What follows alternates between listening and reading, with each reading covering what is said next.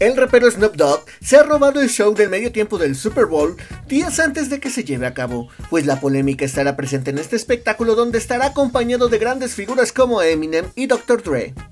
Esta semana, una mujer acusó un presunto abuso sexual por parte de Snoop Dogg, denuncia que se suma a la larga lista que carga a cuestas este irreverente personaje, de las que en mayor medida ha salido bien librado. Independientemente de lo que determinen las investigaciones sobre este hecho, la presentación de Snoop Dogg es de las más esperadas debido a todo lo que representa en el mundo del rap, donde se ha consolidado como una de las grandes figuras.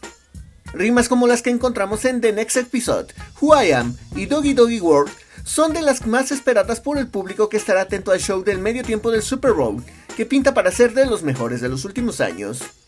Snoop Dogg siempre se ha destacado como defensor y consumidor de la marihuana, por lo que en muchas casas de apuestas ya se mueven números entre los que afirman que fumará en medio del escenario, como normalmente lo hace.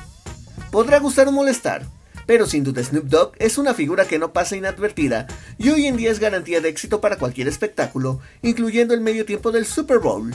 Para Imagen Poblana, Gustavo Mirón Reyes.